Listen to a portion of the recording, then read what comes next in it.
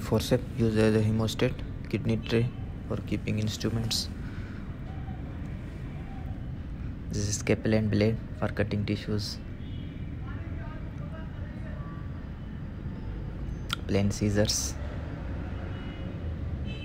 This is Deaver's retractor used in abdominal surgeries and chest surgeries for retracting tissues, major surgeries.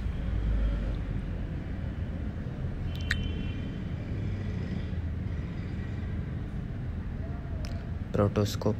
It has two parts proctoscope sheath and obturator.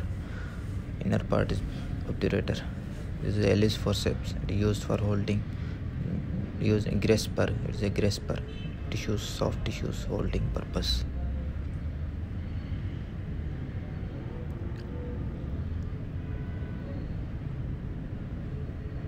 Anti-angle retractor used in hernia and appendix surgeries. This is needle holder